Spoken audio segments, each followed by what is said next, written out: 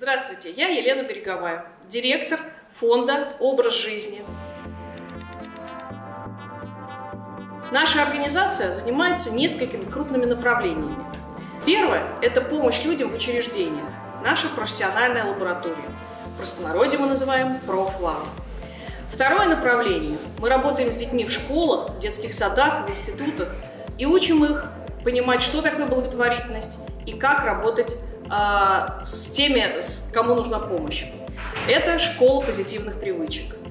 Одно из наших любимых направлений – это популяризация безвозмездного донорства. И большое новое направление – это экспертное направление, работа в различных советах. Карантин, который так неожиданно появился в нашей стране и во всем мире, изменил жизнь, собственно, не только нашего фонда, но и всей страны.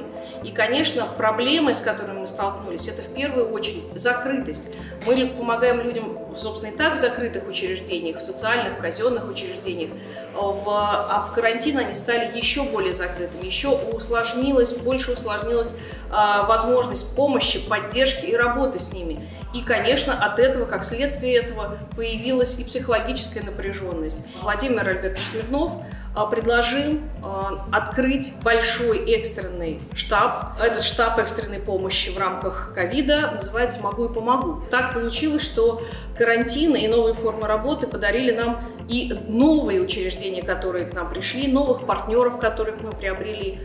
А, новые формы работы, которые, в общем-то, не просто а, было внедрить, не просто было освоить. Это помогло ни на минуту не остановить работу в условиях карантина практически всего фонда. Наши подопечные тоже почувствовали заботу и поддержку. Мы э, устраивали конфколы ежедневно для того, чтобы вот этот вот контакт был все время. Вы не одни, мы рядом. И что-то останется с нами и дальше. Мы оставим часть э, работы и в Zoom, и в вебинарах, и в скайпе. А дальше в работе, потому что, например, для очень отдаленных а, регионов это будет даже экономия средств. Как мы понимаем, кризис – это переход. И то, что мы хорошее, новое, интересное и продуктивное нашли в этом кризисе, мы возьмем и перейдем вместе с этим, собственно, в нормальную жизнедеятельность, в обычное функционирование фонда.